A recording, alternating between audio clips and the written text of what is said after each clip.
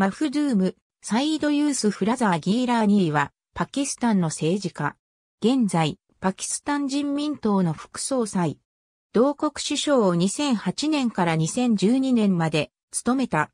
日本の報道では、ギラニと表記される場合が多い。1952年、カラチに生まれる。父親は、ムルターン出身で、閣僚も務めたことがある著名な政治家、マフドゥーム・アラムダー、フサイン・ギーラーニー。パンジャーブ大学でジャーナリズムを学び、修士号を得た。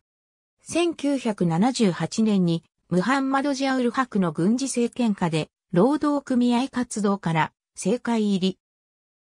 当初はパキスタン・ムスリム連盟に所属していたが、1988年にベーナズイール・ブットを率いるパキスタン人民党に入党した。この間、住宅省、鉄道省、観光省を歴任した。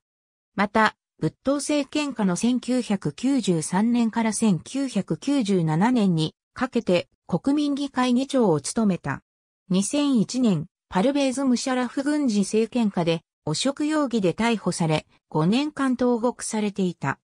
仏頭暗殺後の2008年の国民議会総選挙で、ハンムシャラフ派の野党連合が多数を占めたため3月24日に首相に選出され、翌25日に正式に就任した。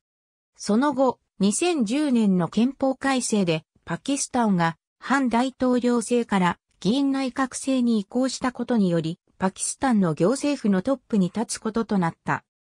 2012年には、アースィフ、アリー・ザルダーリー大統領の汚職事件をめぐり、パキスタン最高裁判所が出した判決にのっった訴追作業を拒んだとして、2月13日にパキスタン最高裁判所により法廷侮辱罪で起訴され、4月26日に有罪判決を受けた。6月19日に首相を退任。ありがとうございます。